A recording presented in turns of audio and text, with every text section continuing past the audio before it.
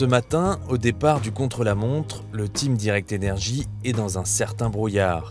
Hier soir, Nice a été le théâtre d'un terrible attentat, mais le sport est plus fort, le spectacle doit continuer, alors avant l'arrivée des coureurs, on prépare les vélos. On revérifie tous les vélos de chrono euh, avant de les envoyer au contrôle, parce que du coup euh, tous les vélos sont contrôlés pour la position, pour que tout le monde soit à la même, euh, la même règle. Donc là on emmène tous les vélos et s'il y a des modifications à les faire, on, on le fait. Et oui, car chaque coureur a ses propres réglages, mais doit respecter les normes de l'UCI, un peu à l'image d'une Formule 1. C'est un recul à respecter. Soit on diminue le recul, mais on, on met tout vers l'avant, on rallonge les, les barènes, les prolongateurs. Ou soit on fait l'inverse, on, on recule, on met la norme 50 et puis après on peut faire ce qu'on veut au niveau des barènes. Et il y a des hors gabarits qui peuvent euh, avoir des tolérances au niveau longueur, ceux qui font plus d'un mètre 90. Aujourd'hui, les coureurs arrivent au compte-gouttes, chacun a son horaire de départ tout au long de la journée. Chacun fait par rapport à ses habitudes. Après, moi, je suis pas spécialiste du contre-la-montre, mais euh, je vais essayer de faire un bon chrono et puis euh, bien s'échauffer pour euh, pas que le départ soit trop difficile. Et puis voilà, après, se relancer. L'effort va être intense pendant 37 km, alors on prépare son corps à se dépasser. C'est surtout euh, pour du confort, quoi, parce que euh, même si euh, je sais que je vais pas aller pour me mettre vraiment minable de chez minable aujourd'hui, c'est toujours bon d'éliminer les quelques toxines qui restent d'hier.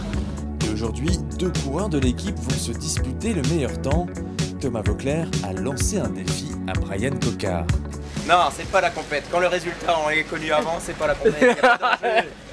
Et on verra, on verra à la fin. Mais bon, ça fait deux semaines que le directeur sportif euh, met en garde le coq et Tutu aussi, de le faire tranquille aujourd'hui. Et en une heure, j'ai réussi à lui foutre la pression, à, à tout, à tout foutre en l'air, pour qu'il le fasse à fond. Et pour que je me fasse engueuler ce soir, bien évidemment.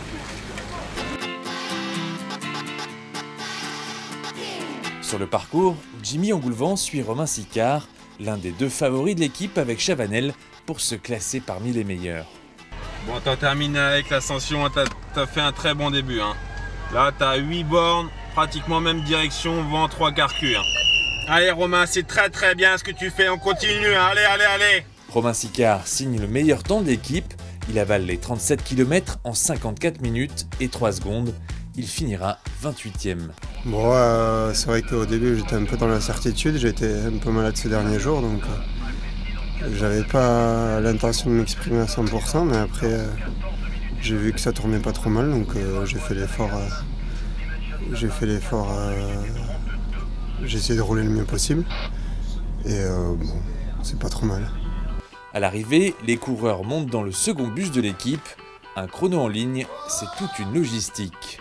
Départ et arrivée sont à deux endroits différents, donc du coup, euh, on a un bus au départ et un bus à l'arrivée. Comme ça, les coureurs euh, on a per- on- on- peuvent prendre une douche à l'arrivée, donc c'est l'avantage. Demain, 208 km sont au programme avec une bonne probabilité d'arriver au sprint.